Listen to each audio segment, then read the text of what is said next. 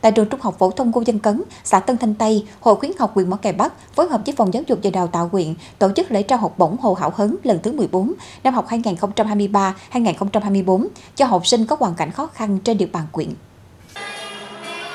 Tại buổi lễ, ban tổ chức đã trao 284 phần học bổng học phẩm cho học sinh tiểu học và trung học cơ sở có hoàn cảnh khó khăn học giỏi. Trong đó, học sinh tiểu học nhận 1 triệu 500 ngàn đồng mỗi suất, học sinh trung học cơ sở là 2 triệu đồng mỗi suất và một phần học phẩm. Tổng kinh phí trao học bổng đợt này là 498 triệu đồng do công ty trách nhiệm hữu hạn một thành viên sổ số kiến thiết tỉnh Bến Tre tài trợ.